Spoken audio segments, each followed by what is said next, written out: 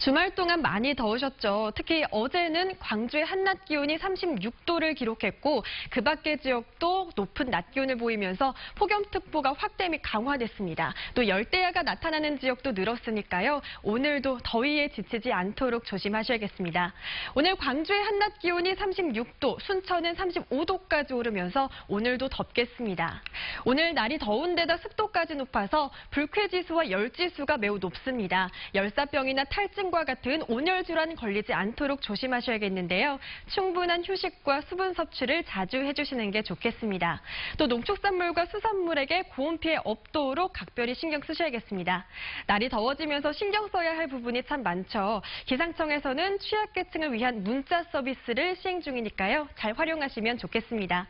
자세한 지역별 날씨입니다. 현재 광주가 24도, 그 밖에 전남 지역도 23도에서 24도가량의 분포를 보이고 있습니다.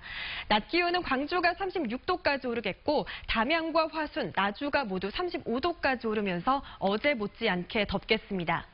무안이 33도, 영암과 장흥이 34도, 강진도 33도까지 오르겠고요. 곡성이 35도, 구례는 36도까지 오르면서 덥겠습니다. 바다의 물결은 서해남부와 남해서부 먼바다에서 최고 1m로 비교적 잔잔하게 일겠습니다. 이번 주 내내 36도를 웃도는 더운 날씨가 이어지겠습니다. 날씨였습니다.